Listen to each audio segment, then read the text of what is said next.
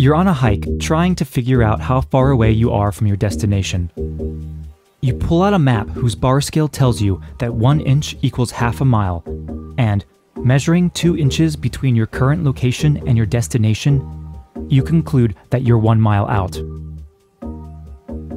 Basic math, sure, but whether you realize it or not, you've just utilized a form of the metric tensor, one of the most revolutionary revisions to our modern geometry. But what is this idea exactly, and how has it come to play such a crucial role in the theory of general relativity? This is Dialect, and today we're demystifying the metric tensor.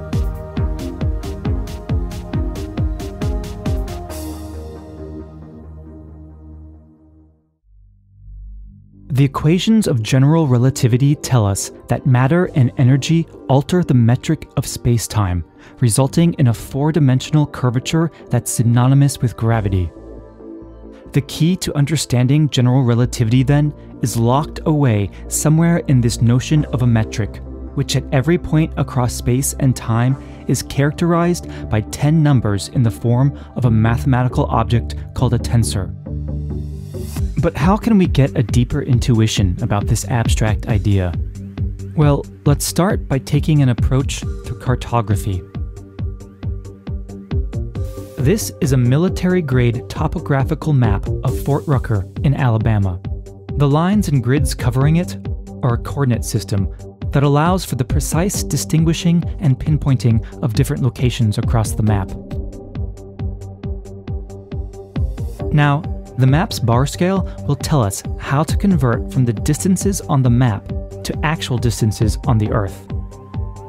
For instance, 2 centimeters on the map corresponds to 1 kilometer on the ground. The bar scale is thus the map's metric, or the mathematical object which functions to convert the map's coordinate intervals to real distances on the ground. The value or component of this metric is simply the ratio given by the bar scale. In this case, that ratio is 1 to 50,000, since 1 centimeter on the map corresponds to 50,000 actual centimeters. Now, viewed as a whole, that's all a metric really is a bar scale. It's when we want to be more precise that the need for a tensor arises. On our map, for instance, it's not actually true that everywhere 2 centimeters will equal 1 kilometer. This will only be the case wherever the topography of the terrain is relatively flat. Otherwise, if it's hilly or mountainous, then all sorts of extra distances are going to be thrown in depending on how high the elevation and how steep the grade of the local topography is. If we're near a cliff or a steep mountain, for instance, traversing one kilometer of horizontal distance requires climbing a good deal of vertical distance as well. Thus, in certain locations on our map, 2 centimeters will actually correspond to a distance greater than 1 kilometer. What this means is that the value of the metric is actually going to change in certain locations, being nearly 1 in 50,000 in locations that are relatively flat, but being 1 in more than 50,000 wherever terrain exhibits significant curvature. Most topographical maps encode such varying metrics via the use of contour lines. On our Fort Rucker map, for instance, crossing from one contour line to the next indicates an elevation change of 10 meters. Thus, for a given path on the map, to find the total distance covered on the ground, you have to not only convert the coordinate distance of the path into real world horizontal distance, but you also have to count the number of contour lines crossed by the path to determine that path's change in vertical distance. You can then estimate the path's total distance via a simple Pythagorean relation. The ratio of the original coordinate distance to this final distance is what yields the true value of the metric over the path traveled. Of course, to make this metric as accurate as possible, you have to keep making the path size smaller and smaller so that variances in local topography are accounted for.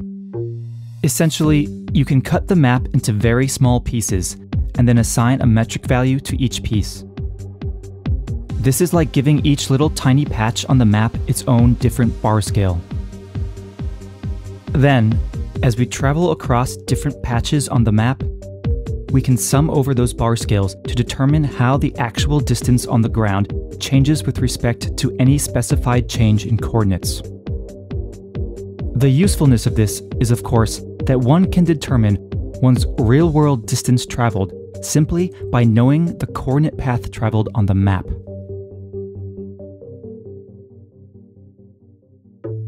So now we have a better understanding of what the metric does.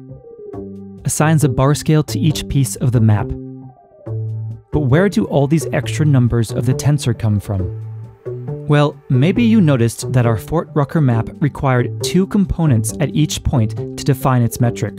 One for the horizontal distance conversion, and one for the vertical distance conversion. So, for a two-dimensional surface, or manifold, it might seem like you need two numbers to characterize your metric. But a map like Fort Rucker actually takes advantage of certain symmetries in order to reduce the number of components needed to describe its metric. Consider making a map of the Earth. If, like our Fort Rucker map, you approach it from a sort of top-down projection, you'll end up with a map that looks like this.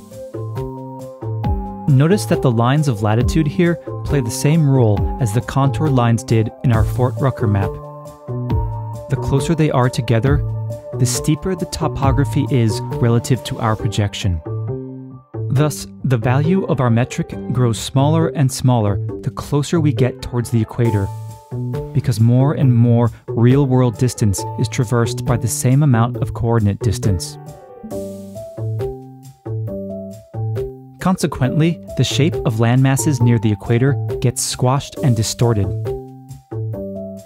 Now, because this map has a unique radial symmetry, you'd actually only need to specify one number or parameter to characterize the metric at any point. But if we want a map of the entire Earth, this obviously won't suffice.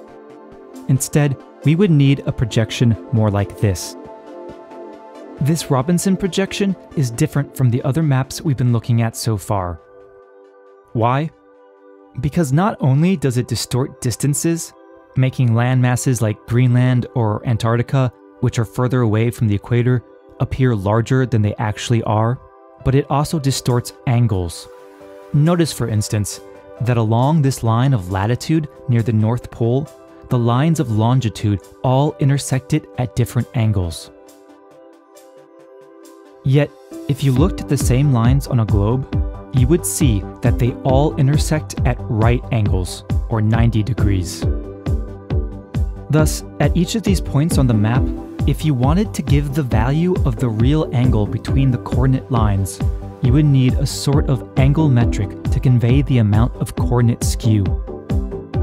This gives us an idea of what our third and final component of the metric must do.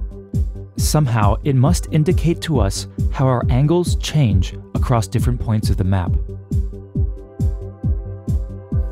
But to be precise and really figure out how each of these metric components relates to the other, we need to look at the process that actually goes into making these types of maps. That is, let's ask, how do we take a curved surface like that of a globe and make it into a flat surface like that of a map? Well, the method is pretty simple, and it works like this.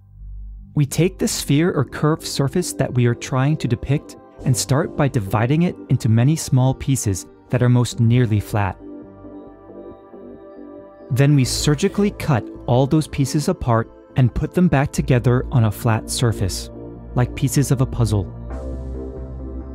At this point, however, the puzzle pieces won't fit together all that well, and there will be many gaps and holes, to get rid of those gaps, we perform a simple operation upon each of the pieces. We stretch and or skew the piece until it fits into place. Then we can assemble our map into a contiguous whole. Now, the operations of stretching and skewing are pretty easy to describe mathematically. Stretching merely assigns a new scale to your coordinate intervals. Skewing, meanwhile, turns coordinate squares into coordinate parallelograms, and consequently right triangles into obtuse or acute triangles. So your distance element goes from being the hypotenuse of a right triangle to being one of the sides in an obtuse or an acute triangle. And if you remember the extension of the Pythagorean theorem from basic geometry, you'll know that you need exactly three numbers to calculate the length of the side of a non-right triangle. You need the length of the first side, the length of the second side, and the cosine of the angle between them. And voila! This is where your three values of the metric come from. So for each tiny region of our map, we need one number, or bar scale, to tell us how much our x-axis has been stretched or shrunk. One number or bar scale to tell us how much our y-axis has been stretched or shrunk. And one number to tell us how much the angle between the axes has been skewed. The tinier we make these regions, the more accurate our metric will become, and the better we can describe our curved surface. The list of these three numbers put together is called the metric tensor, and it is easily generalized to higher dimensions by adding one more bar scale for each new dimension, plus one new cosine angle value for every pairing of dimensions that can be skewed. Geometrically, we can interpret the number of metric components as being the number of sides and angles you'd need to specify in order to determine the length of the diagonal of an nth dimensional parallelogram. So in two dimensions, you'll need three numbers at each point on your map to characterize the metric. While in three dimensions, you'll need six numbers.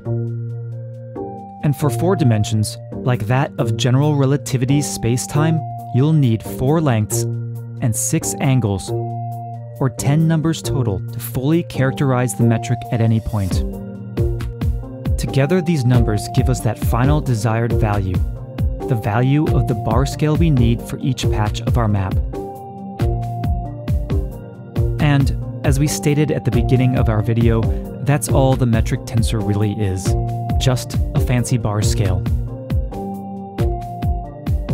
An important note to make here is that the framework of the metric tensor treats coordinate systems and the surfaces or manifolds that they describe as fundamentally distinct entities. And although so far we've been dealing with metrics that go between different coordinate systems on different manifolds, you can also have metrics which describe different coordinate systems on the same manifold. An example of this would be going between Cartesian and polar coordinates on a flat manifold. Because your initially Cartesian surface, once cut into many small pieces and then stretched, skewed, and rearranged according to a polar coordinate ordering, still retains its original flatness. This separation between coordinate systems and manifolds can be an intuitively difficult pill to swallow, but it's a crucial idea which ultimately leads to the more sophisticated concept of curvature. For the moment, however, the main takeaway here is that the metric tensor becomes involved whenever you're using some type of map, meaning the representation of one surface by that of another. The trick to understanding general relativity, then, is to realize that not all maps are two dimensional pieces of paper you can hold in your hand. So, if you're planning on taking a hike through, say, a black hole, you're going to need something of a four dimensional map. But more on that in future videos. This has been Dialect. Thanks for watching.